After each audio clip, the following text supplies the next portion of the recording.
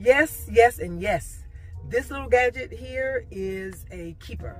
I actually bought it to use while flying, but then I'm like, okay, let me just try it in my car and see what happens. But it's giving.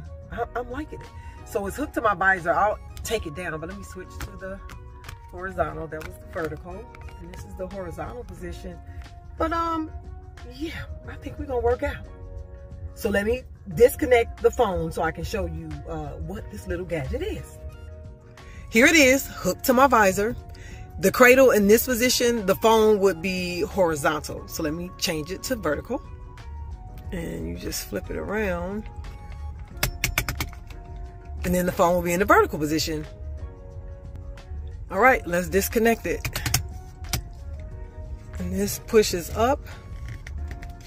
And yeah, and this is fully extended. I'm working with one hand, so y'all be patient with me. Let me see if I can fold it with one hand.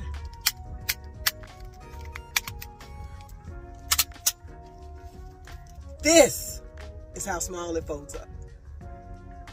10 out of 10, would recommend.